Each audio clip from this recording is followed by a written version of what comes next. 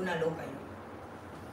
Bien, la frase de hoy, yo me perdono. Sí, y yo me perdono porque durante el, el diario vivir nos decimos cosas, nos sentimos inferiores, eh, estamos recordando cosas de alguien que nos dolió y que decimos, sí, ya yo lo sané, yo lo perdoné, pero están ahí. Y si algo está ahí, no lo has sanado, no lo has perdonado. Igual con eso que te dices día a día. Y me van a decir, profe, pero es que eso es normal. Sí, claro. Yo sé que eso es normal, que yo a veces me veo en el espejo, uy, no, qué gorda me veo, que hay un montón de celulitis, uy, no, pero qué fea. Eso es normal, sí. Pero cada día hay que perdonarse. Porque cuando no nos perdonamos todas esas cosas, eso se va acumulando y de alguna u otra manera nuestro cuerpo lo va a sacar en algún momento.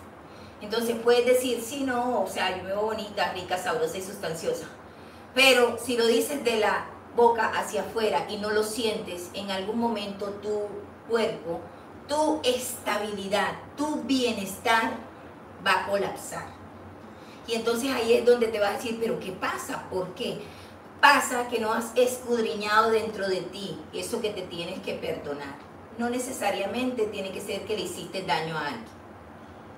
No necesariamente. Eh, a veces son palabras que te dicen, que te dices mínima, mínima. A veces eh, son declaraciones que sin querer estás haciendo. Entonces, Hoy quiero que miren dentro de ustedes y esa es la frase que van a usar, yo me perdono. Y si quieren se pueden mirar en el espejo y decir, eh, por ejemplo, va a tomar un nombre cualquiera. Marta, yo te perdono por haberte tratado mal y por haberte dicho que eres fea o por haberte sentido inferior a X o porque en determinada situación no tomaste las riendas del problema. Hoy quiero que se perdonen que se perdonen de corazón, que se perdonen de verdad y que si hay algo que sacar que está ahí dentro, que en algún momento sale, hoy creo que es el momento para que lo perdonen, para que lo sanen. Porque de alguna u otra manera lo que siempre buscamos es nuestro bienestar. Y cuando hablamos de bienestar no es el más musculoso, el que más alce peso, el más fitness, no es el que enfrenta la vida de la mejor manera, es el que logra sacar eso que tiene que sanar, es el que logra transmitir eso que quiere transmitir, pero de corazón. Es ese que no le da miedo ni de pena decir las cosas, aunque vaya, aunque no esté de acuerdo con los demás, siempre respetando a los demás. Entonces hoy quiero que miren dentro de ustedes y se perdonen eso que hay que perdonar. Como les digo, a veces pensamos que no hay nada que perdonar y resulta que sí, hay algo por ahí.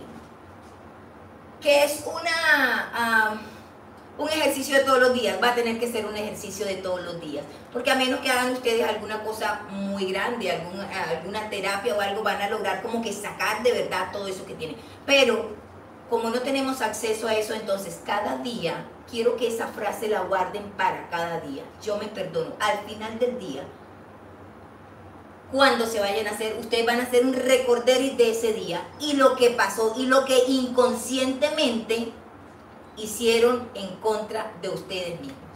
Y antes de acostarse van a decir, Marta, Luisa, yo te perdono por esto y esto y esto. Damos gracias a Dios, damos gracias a la vida por el aquí, por el ahora, por el presente, por el momento vivido, por cada situación, por cada circunstancia, por cada persona que se cruza en nuestros caminos. Gracias a la Madre Tierra y le pedimos perdón por el daño que le hacemos. Damos gracias tres veces, gracias, gracias, gracias y declaramos paz, paz, paz. Mis amores de Benech, ha sido un enorme placer haber estado aquí con ustedes. Mis respetos, mi bendición, la bendición de Dios de la vida para mí, para ustedes.